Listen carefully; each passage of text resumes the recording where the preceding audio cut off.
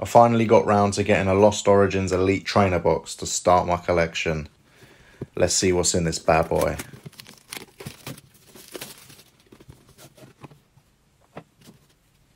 So we got a Lost Origin guide so we can tick off all the cards in, uh, in the collection.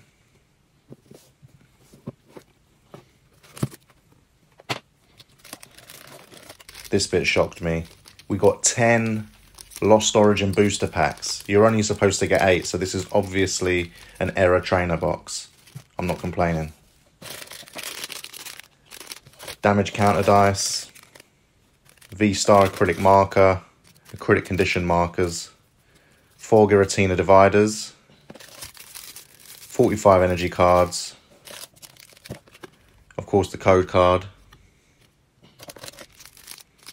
and 65 Giratina card sleeves. And of course one lovely Lost Origin box for storing everything in. Thanks for watching guys.